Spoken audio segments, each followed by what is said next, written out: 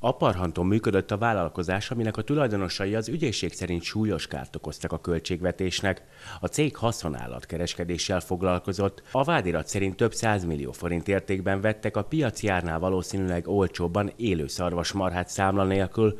Ahhoz viszont, hogy a trükközés ne tűnjön fel a hatóságoknak, másik vállalkozásoktól ezzel együtt számlákat is vettek, amik után visszaigényelték az áfát. Ez a két adóévre ez ennyi, illetőleg ennyi forinttal csökkentette a fizetendő áfát.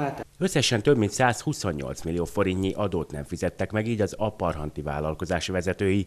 Úgy tudjuk, a cég egy család tulajdonaként működött, az ügyvezető az elsődrendű vádlott, az édesapja pedig a másodrendű. Valószínűleg ő találta ki az egész bűncselekményt. A Tolna megyei főügyészség ö, elsőrendű vádlottat, mint tettest, különösen nagy vagyoni hátrányt okozó költségvetési csalás büntettével, folytatólagosan elkövetett számviteli rend megsértésének büntettével, illetőleg folytatólagosan elkövetett hamis magánokirat felhasználásának védségével vádolta, míg másod, harmad, negyed, ötöt és hatod rendű vádlottat ugyanezen bűncselekménnyel, mint bűnsegédet. A szarvasmarha vételt bonyolító cég ügyvezetője és az édesapja mellett a többi vádlott azoknak a vállalkozásoknak a tulajdonosai, amelyektől a számlákat vették. Az ügyben most tartott előkészítő ülést a bíróság. A vádlottak nem ismerték be a váddal egyezően bűnösségüket, érdemben nem nyilatkoztak, tárgyaláshoz ö, való jogukról nem mondtak le. Vagyis nem fogadták el az ügyészi ajánlatot, ami alapján már most kaphattak volna ítéletet, ha mindent beismernek.